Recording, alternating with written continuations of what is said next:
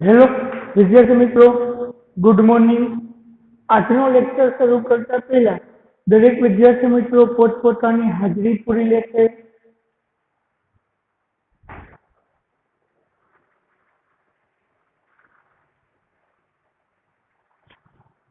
ઝડપથી વિદ્યાર્થી મિત્રો પોતપોતાની હાજરી પૂરી લેશે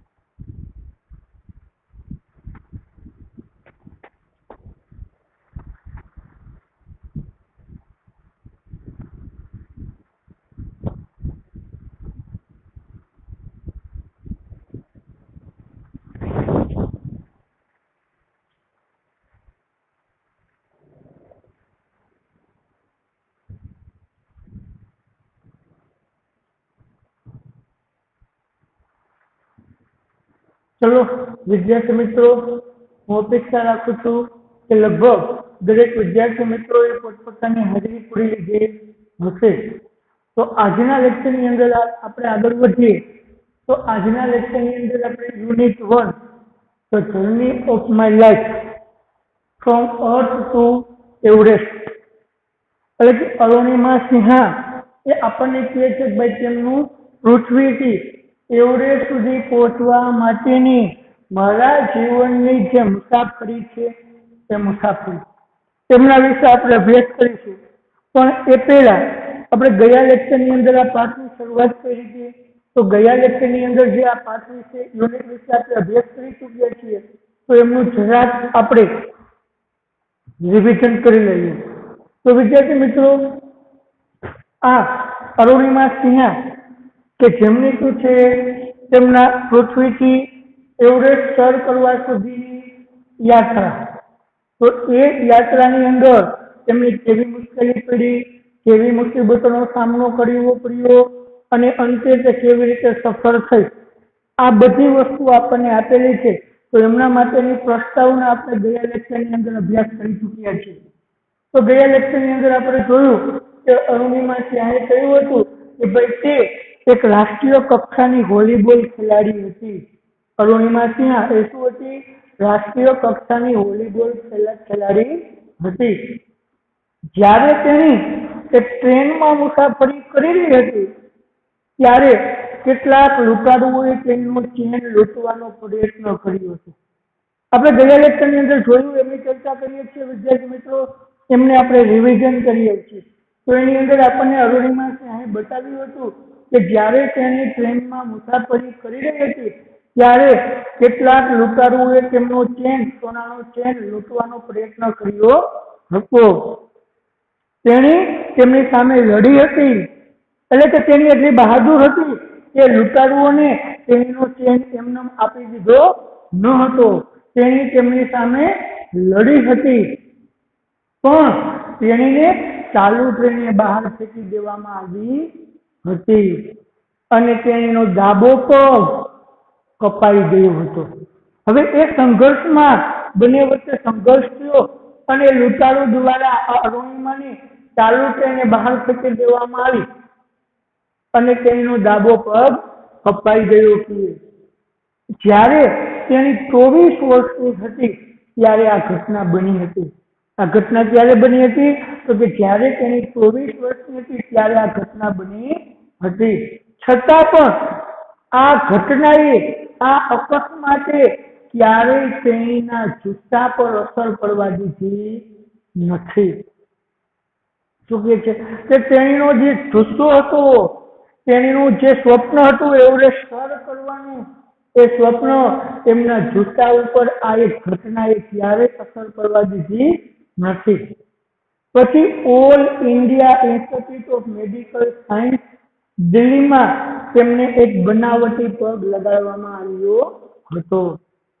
એકાદ વર્ષ પછી તેણે ફરી પાછું એક પર્વતારોહણની તાલીમ શરૂ કરી હતી. હવે શું કહે છે કે પછી તેમણે એક બનાવટી પગ લગાવ્યો બનાવટી પગ લગાવ્યા પછી એકાદ વર્ષે તેમની સાથે સુસંગતતા સાધી. પછી તેમણે ફરી પાછું એક પર્વતારોહણની એક પગે અને એક બનાવટી પગે તેમણે પર્વતારોહણની તાલીમ શરૂ કરી હતી. અને છેવટે તેણે તે એવરેસ્ટ સર કરી ચૂકી હતી. એટલે કે તેણે વિશ્વની પહેલી એવી મહિલા બની હતી કે જેમણે એક બનાવટી પગ સાથે શું કર્યું હોય, એવરેસ્ટ સર કર્યું હોય તેવી તે એક વિશ્વની પહેલી મહિલા બની હતી. અહીં આપણને આ સ્ટોરીની અંદર આ વાર્તાની અંદર જે અરુણિમા સિંહા છે તેમની આશા, હિંમત અને પ્રેરણાની ટેસ્ટુ આપે છે. ક્યારેય ભૂલી ન શકાય એવી એક વાર્તા રહેલી છે. અને આ વાર્તા આપણે ચાર દ્રશ્યમાં આપી છે. તો એમાંનું પહેલું દ્રશ્ય આપણે ગયા લેક્ચરની અંદર સ્ટાર્ટ કરી ચૂક્યા હતા. આપણે કીધું તો પહેલું દ્રશ્યમાં શું છે? તો કે અરુણિમા સિંહાની જે ટ્રેનની અંદર મુસાફરી અને એ મુસાફરી દરમિયાન તે લૂંટારુઓનો તેમને ભેટો થયો અને એ લૂંટારુઓ સાથે તમે શું કરી? લડી અને તેમને તેમનો પોતાનો પગ ગુમાવ્યો. આ બાબત છે આપણને પહેલી સ્ટોરીની અંદર જોઈએ છે. તો એમાં પહેલી સ્ટોરીનો આપણે પહેલા દ્રશ્યનો એક પેરેગ્રાફ આપણે જોયો હતો તો એનો પણ હજી આપણે રિવિઝન કરી લઈએ. તો એની અંદર અરુણિમા સિંહ કહે છે. કે મને ખૂબ જ ધોકા આવતા હતા. એટલે મારી આંખ બંધ હતી, પણ મારું મન એ જાગૃત હતું. એટલે કે હું જ્યારે ટ્રેનની અંદર મુસાફરી કરતી હતી, તો મુસાફરી દરમિયાન હું મારી આંખ બંધ કરી અને બેસી હતી. પણ હું સોઈ નથી ગઈ, એટલે કે મારું મન જાગૃત હતું. મને હજુ યાદ છે કે કોઈકે કહ્યું હતું કોઈક બોલી રહ્યું હતું કે, બરેલી હમણાં આવશે. એટલે કહેવાનો અર્થ એ સમયે એ અરુણિમા સિંહા તેમની ટ્રેન એ ત્યાં પહોંચી હતી બરેલીની નજીક. અને હું એ ઊંડાણપૂર્વકના ગાઢ દીપ વિચારમાં હતી. ત્યારે એક કોઈ હાથ મારા સોનાના ચેનને સ્પર્શતો હોય, ખેંચતો હોય તેવી મને અનુભૂતિ થઈ છે જાણું કહેવાનો કે જ્યારે હું ઊંડાણપૂર્વકના વિચારમાં હતી, ત્યારે કોઈ હાથ મારા સોનાના ચેનને ખેંચતો હોય તેવી કે મને અનુભૂતિ થઈ. અને હા, એક છોકરીની છઠ્ઠી ઇન્દ્રી એ હંમેશા શું છે? તેનો એક શ્રેષ્ઠ સાથી છે. અને તરત જ કે મેં મારી આંખ ખોલી અને આસપાસ જોયું તો મને ચાર કે પાંચ યુવાન માણસ દેખાયા હતા. આ જે ટ્રેન ખેંચવાનો મને અનુભૂતિ થઈ એટલે તરત જ મેં મારી આંખ ખોલી અને આજુબાજુ જોયું. તો આજુબાજુ જોયું તો ચાર કે પાંચ માણસો હતો ત્યાં મેં જોયા. અને તેઓનો દેખાવ અને તેઓનું વર્તન અને દારૂ પીધેલી કે પીધેલી હાલતનો તેઓનો દેખાવ કે તેમના ઈરાદાનો મને સંપૂર્ણ અણસાર આપી દીધો હતો. હું તરત જ એમને કહેવા માટે ઊભી થઈ કે, ભાઈ, હું મારો ચેન એ તમારેથી અલગ પાડવા માંગતી નથી. એટલે કે હું આ મારો ચેન તે દેવા ઈચ્છતી નથી. તો તરત જ એ બને. એટલે કે એ બધા લોકો મારી તરફ આગળ વધ્યા. અહીં સુધી આપણે વિદ્યાર્થી મિત્રો ગયા લેક્ચરની અંદર જોયું હતું. ગયા લેક્ચરની અંદર આપણે અહીં સુધી અભ્યાસ કર્યો હતો. તો હવે આજે, આજના લેક્ચરની અંદર આપણે અહીંથી આપણા લેક્ચરને કન્ટિન્યુ કરીશું. તો ચાલો જુઓ, હવે ટ્રાન્સલેટ કરતા જઈએ અને સાથે સાથે સમજતા જઈએ. તો કે છે ઇવન જો કમ્પાર્ટમેન્ટ વોઝ ફૂલ ઇવન જો એટલે તેમ છતાં પણ, તો કમ્પાર્ટમેન્ટ એટલે કે ડબ્બો વોઝ ફૂલ એટલે ભરેલો હતો. અમે જે ટ્રેનની મુસાફરી કરતા હતા, એ ટ્રેનનો ડબ્બો ભરેલો હતો. છતાં પણ none of my fellow passenger got up to even enquire what was happening none of my fellow passenger એટલે મારો એક પણ સાથી પેસેન્જર ગોટ અપ ઊભો થયો ન હતો ટુ ઇન્ક્વાયર એટલે તપાસ કરવા માટે વોટ વોઝ હેપનિંગ શું ઘટના બની રહી હતી. શું ઘટના બની રહી હતી, શું ઘટના થઈ રહી હતી આ તપાસ કરવા માટે એક પણ મારા સાથી પેસેન્જરો મારો ઊભો થયો ન હતો કે forget about their coming to my rescue rescue એટલે કે ના પક્ષમાં આવું. તો મારા પક્ષમાં આવું તો ભૂલી જ જવાનું નથી હવે શું બને છે, શું થાય છે, એ જોવા માટે પણ જો કોઈ વ્યક્તિ ઊભો થયો નહીં, તો હવે એ કોઈ વ્યક્તિ મારી સાથે મારી મદદે આવે એવી તો મારે કોઈ અપેક્ષા રાખવાની જ નથી. એ તો મારે ભૂલી જ જવાનું ને. એટલે તરત જ શું કે છે? આઈ હેડ નો ઓપ્શન તો મારી પાસે બીજો કોઈ વિકલ્પ ન હતો. But to take them on તેમના પર હુમલો કર્યા સિવાય. તેમના પર હુમલો કર્યા સિવાય મારી પાસે બીજો કોઈ જ ઓપ્શન ન હતો કે. એટલે તરત જ to I caught a youth who was trying to seize me up by his collar and pushed him. એટલે તરત જ મેં શું કર્યું? મેં તરત જ તેમના પર હુમલો કર્યો. તેના પણ, એટલે કે જો આસો તેથી આઈ કોટ એટલે મેં પકડ્યો યુથ એટલે યુવાન.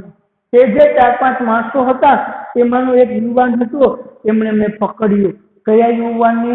Who was trying to see me up કે જે મારા પર હુમલો કરવાનો પ્રયત્ન કરતો હતો. મારા પર હુમલો કરવાનો પ્રયત્ન કરતો હતો. તે એક માણસને બાય હિઝ કોલર, મેં તેમના કોલરથી પકડ્યો. એન્ડ પુશ બેક અને તેમને મેં પાછો ધક્કો માર્યો. સમજાય શું કહેવા માંગે છે? કે એ પાંચ માણસો, ચાર પાંચ માણસો હતા તે મારા પર હાવી થવાનો પ્રયત્ન કરતો હતો. મને જે ડરાવવાનો પ્રયત્ન કરતો હતો, મારા પર જે હુમલો કરવાનો પ્રયત્ન કરતો હતો એ એક વ્યક્તિને મેં તેમના કોલરથી પકડી અને મેં તેમને પાછો ધક્કો માર્યો. I kicked couple of others I kicked એટલે મેં લાત મારી. કપલ એટલે બે ઓફ અધર્સ એટલે બીજા બે ને એટલે મેં બીજા બે ને પછી લાત મારી. હવે શું કે છે તે બંને વચ્ચે અસામાન્ય, અસાધારણ યુદ્ધ તે ત્યાં શરૂ થઈ ગયું હતું. ચાલુ થઈને એકને મેં કોલરથી પકડી પાછો ધક્કો માર્યો. બીજા ત્યાં બે હતા. તો એ બીજા બેને મેં શું કર્યું લાત મારી. An extensional battle had began inside the train on the move an an એટલે અસાધારણ, અસામાન્ય. બેટલ એટલે યુદ્ધ. હેડ બિગન એટલે શરૂ થઈ ગયું હતું. ઇનસાઇડ એટલે અંદરના ભાગમાં. ધ ટ્રેન એટલે ટ્રેનના ઓન ધ મૂવ એટલે ચાલુ છે ચાલુ ટ્રેને કે ટ્રેનના અંદરના ભાગમાં એક આ અસાધારણ અસામાન્ય યુદ્ધ શરૂ થઈ ગયું હતું. સમજાય કે થઈ?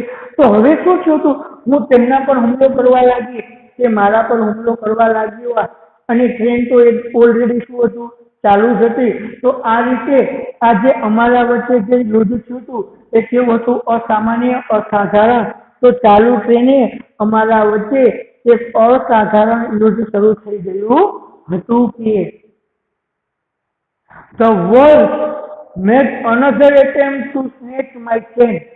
અને શું કહે છે? ધ વર્લ્ડ એટલે તે વરુએ મેડ અનથર એટેમ્પ બીજો પ્રયત્ન કર્યો ટુ સ્નેચ એટલે ઝૂંટવાનો બરાબર માય ચેન એટલે મારો ચેન પાછો એ વરુએ બરાબર તે મારો ચેન તૂટવાનો બીજો પ્રયત્ન કર્યો.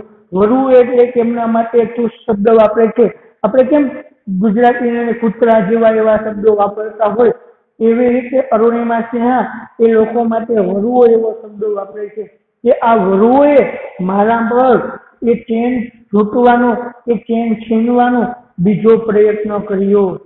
સ્ટીલ આઈ બરાબર? જ્યારે તેમણે બીજો પ્રયત્ન કર્યો ત્યારે still I resisted until one of them driven by a crazy gave me an extra hard kick using all his force.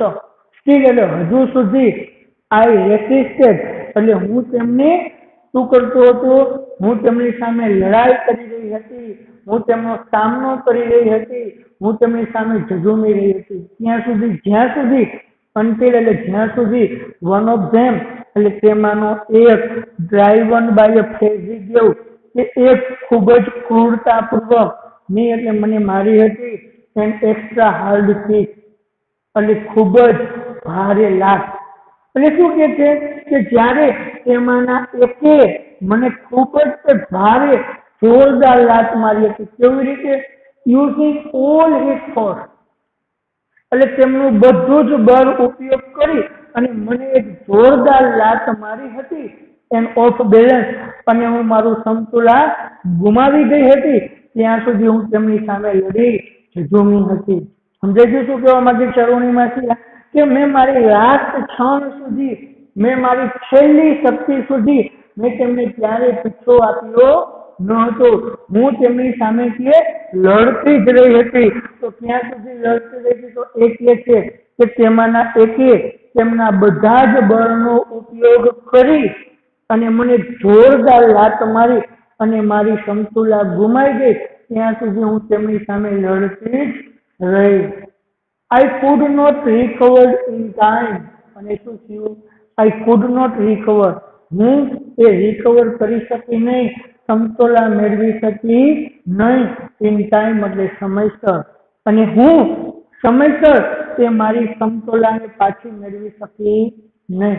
તો આપણે ખ્યાલ છે કે જ્યારે આપણું બેલેન્સ વિખાઈ જાય, ખોરવાઈ જાય અને આપણે આપણા બેલેન્સને સમતોલિત કરી ન શકીએ, તો ત્યાં સુધી આપણે સામનો કરી શકશું નહીં.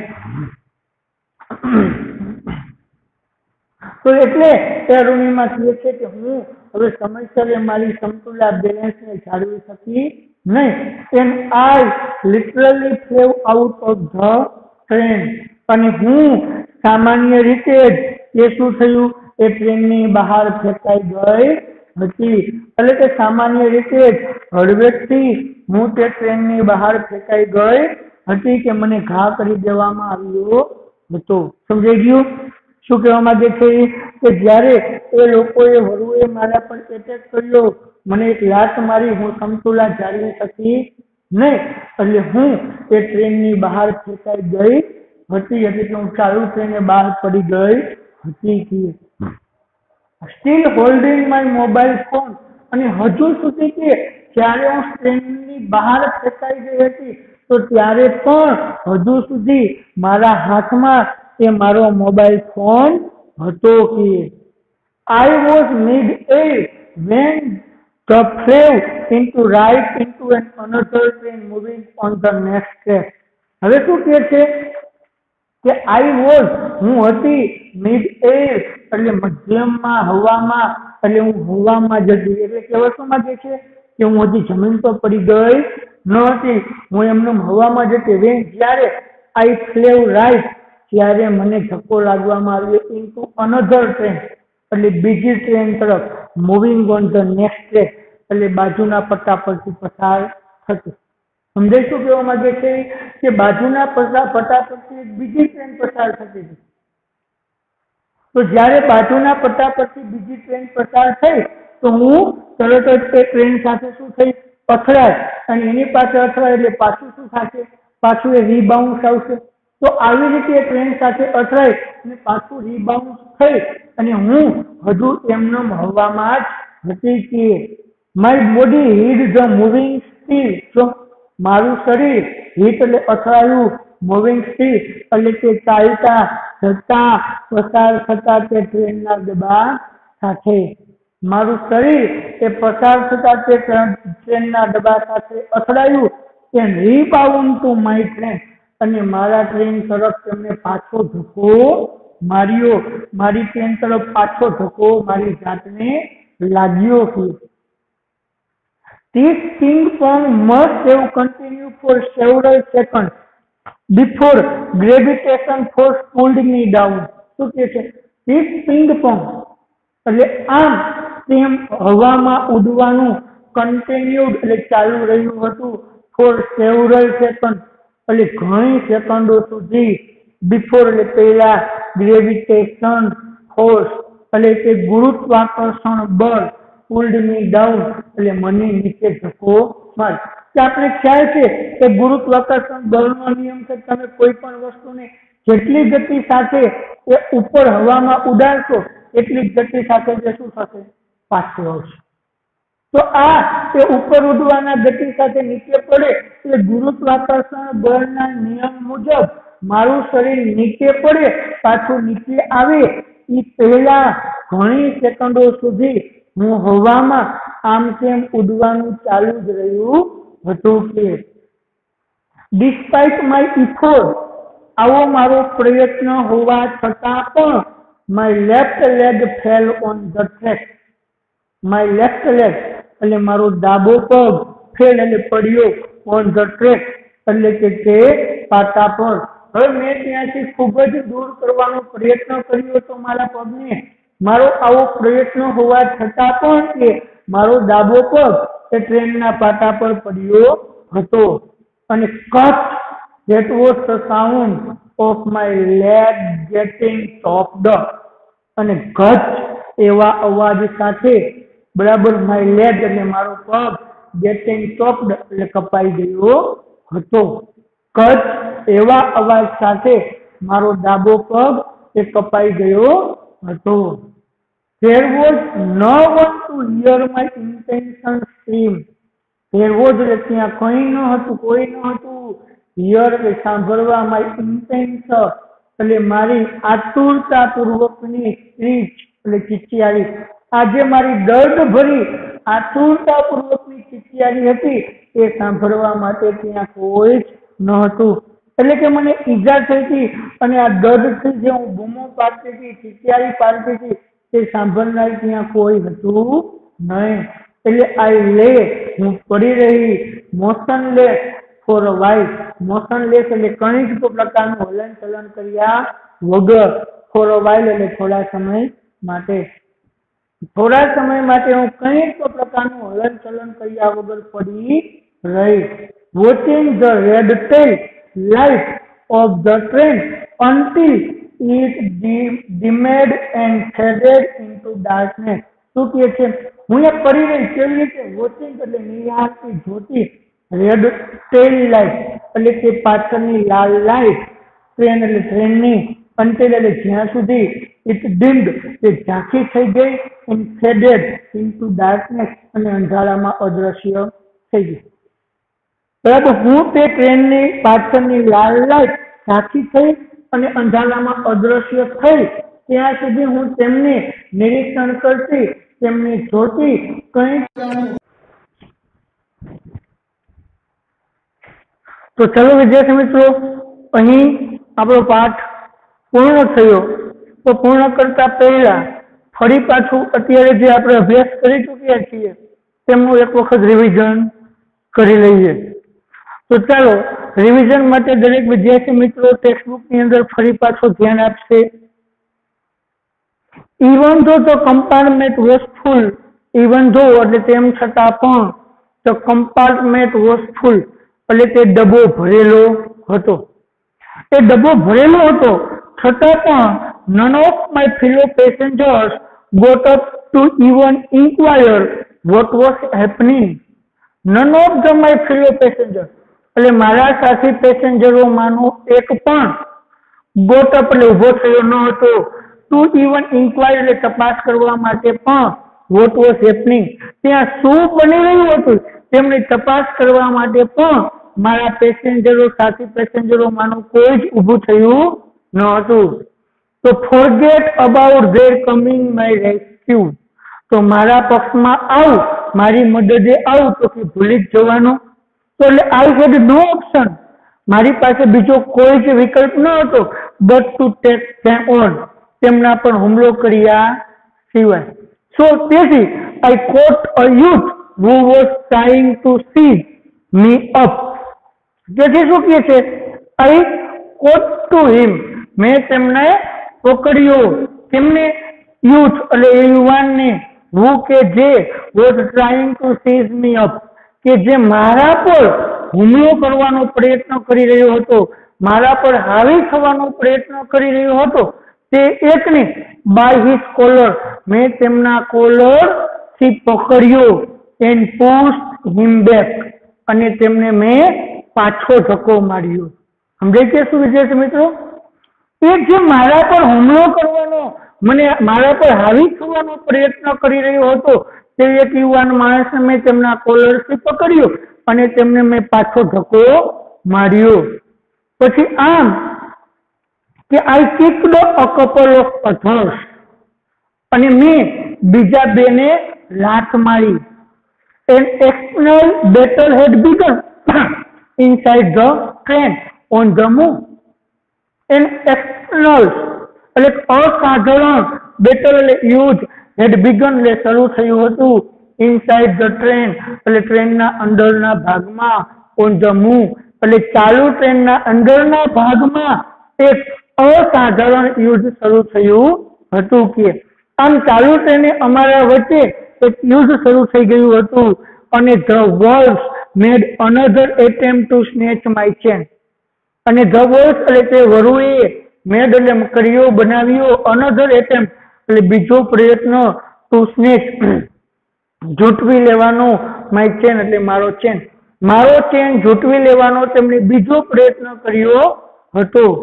And still I battle had began inside the train on the move અને એ સોરી સ્ટીલ આઈ રેસિસ્ટેડ અને હું તેમની સામે લડી રહી હતી. અન્ટિલ વન ઓફ ધેમ એટલે તેમાંના એકે બાય અ ફ્રેઝી ગેવ મી કે એક ખૂબ જ જોરથી લાત મારી an extra hard kick using all his force તેમનો બધા જ બળનો ઉપયોગ કરી. હવે શું કે છે? તેમાંના એકે તેમના બધા જ બળનો ઉપયોગ કરી, મને જોરદાર લાત મારી એન્ડ આઈ બેલેન્સ ઓફ અને હું મારું બેલેન્સ ગુમાવ્યું ત્યાં સુધી હું તેમની સામે લડી અથવા તો ઝઝુમી હતી. સમજાય વિદ્યાર્થી મિત્રો, અહીં શું કે છે અરુણિમા સિંહ કે જ્યારે એમાંનો એક વ્યક્તિ કે તેમના બધા જ બળનો ઉપયોગ કરી, મને શું કર્યું? કે જોરથી લાત મારી અને મેં મારું સમતોલા ગુમાવ્યું. ત્યાં સુધી હું તેમની સામે લડતી રહી and I could not recover in time અને હું સમયસર એ મારી સમતુલાને કાબુમાં લઈ શકી નહોતી. હતી I literally flew of the train મને ચાલુ ટ્રેને બહાર ફેંકાઈ ગઈ હતી. હોલ્ડિંગ માય મોબાઈલ ફોન અને હજુ સુધી એ મારા માથમાં એ મોબાઈલ ફોન હતો. હવે શું કે છે કે જ્યારે ચાલુ ટ્રેને હું બહાર ફેંકાઈ ગઈ હતી, તો ત્યારે હજુ એ મારા હાથની અંદર મારો મોબાઈલ ફોન હતો. I was mid-air when I flew right into another train moving on the next track. કે જ્યારે બાજુની ટ્રેકમાંથી પસાર થતી ટ્રેન સાથે હું અથડાઈ ત્યાં સુધી હું હજુ એ હવામાં જ હતી. એટલે શું કે જ્યારે હું બહાર ફેંકાઈ ગઈ હતી, એ સમયે બાજુમાંથી બીજી એક ટ્રેન પસાર થઈ, તો એ સમયે હજી હું પૃથ્વી પર પડી ન હતી. હું હજુ હવામાં જ હતી. And my body hit the moving steel અને માય બોડી એટલે મારું શરીર. હિટ એટલે અથડાયું હતું, તો મૂવિંગ સ્ટીલ એટલે ચાલુ ટ્રેનના ડબ્બા સાથે મારું શરીર એ ચાલુ ટ્રેનના ડબ્બા સાથે અથડાયું હતું. And rebound to my train અને મારી ટ્રેન તરફ તેમને પાછો ધક્કો માર્યો હતો. This ping pong must have continued for several second this ping pong એટલે આ હવામાં આમ તેમ ફરવાનું મસ્ટ એવું કન્ટિન્યુ ચાલુ રહ્યું હતું.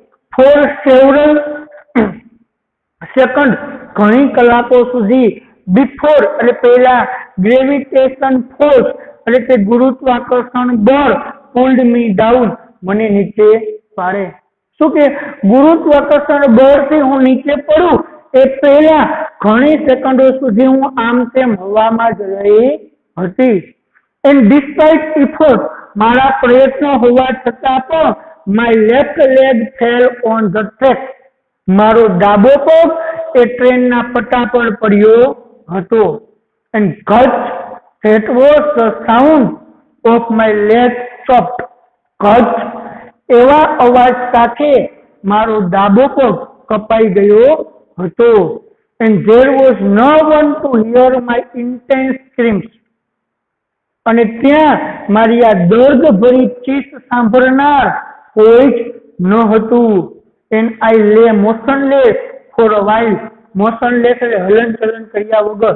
થોડોક સમય હું કંઈ જ પણ હલન ચલન કર્યા વગર પડી રહી watching the red tail of the train watching એટલે નિહાળતી રેડ ટેલ એટલે તે લાલ પૂંછડીની લાઈટ. ટ્રેનની અંતે એટલે જ્યાં સુધી ઇટ ડેમ્ડ એટલે ઝાંખી પડી ફેડ ઇનટુ ડાર્કનેસ અને અંધારામાં અદ્રશ્ય થઈ ત્યાં સુધી. આ રીતે લેવાય આખું વાંચે કે રીતે? કે જ્યાં સુધી તે ટ્રેનની પાછળના ભાગની લાલ લાઈટ એ ઝાંખી પડી અને અંધારામાં અદ્રશ્ય થઈ, ત્યાં સુધી હું તેમને નિહાળતી કંઈ પણ હલનચલન કર્યા વગર ત્યાં જ પડી રહી હતી. એન્ડ ધેન આઈ ફેન્ટેન્ટેડ અને પછી હું બેભાન થઈ ગઈ હતી. રેડી વિદ્યાર્થી મિત્રો? તો હું અપેક્ષા રાખું છું બધાને સમજાઈ ગયું હશે. તો ચાલો, એક મિનિટનો સમય છે. ફટાફટ દરેક વિદ્યાર્થી મિત્રો એક વખત અમને જોઈ લેશે. ફટાફટ વિદ્યાર્થી મિત્રો રિવિઝન કરી લેશે.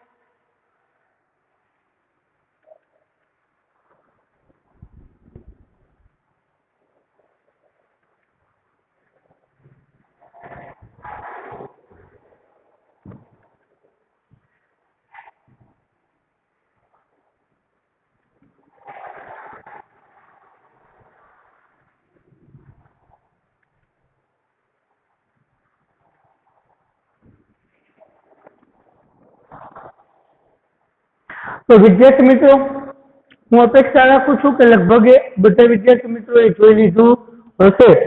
તો આજે આપણે પહેલો પાઠ એટલે કે journey my journey to earth to એવરેસ્ટની પ્રસ્તાવના અને સીન પેલું દ્રશ્ય એક આપણે સમજ્યા. છે સંપૂર્ણપણે આપણે સમજી ચૂકીએ છીએ. તો હું અપેક્ષા રાખું છું કે લગભગ દરેક વિદ્યાર્થી મિત્રોને સમજાઈ ગયું હશે. અને કદાચ કોઈએ જો રિવિઝન કરવાનું બાકી હોય, તો હવે પછી રિવિઝન કરી લેજો. કારણ કે આપણા લેક્ચરનો સમય પૂર્ણ થાય છે, તો એટલા માટે આપણા લેક્ચરને આપણે પૂર્ણ કરવા જઈ રહ્યા છીએ. પણ હવે નેક્સ્ટ લેક્ચરની અંદર ફરી પાછું આપણે સીન ટુ એટલે કે દ્રશ્ય બે ની સાથે મળીશું. તો પેલા દ્રશ્યની અંદર આપણે જોયું કે અરુણિમા સિંહાએ કેવી રીતે તેમનો પગ ગુમાવ્યો હતો? કે લૂંટારુઓ સામે કેવી રીતે તેમનો સામનો કર્યો હતો? બરાબર? તો બીજા દ્રશ્યની અંદર હવે કેવી રીતે તેમના પગની સારવાર કરે છે એ નેક્સ્ટ લેક્ચરની અંદર આપણે મળીશું, ત્યારે તેમનો અભ્યાસ કરીશું. તો આજે દ્રશ્ય એક પૂર્ણ થયેલ છે. તો બીજા લેક્ચર નેક્સ્ટ લેક્ચર સુધી દરેક વિદ્યાર્થી મિત્રોને જય હિન્દ.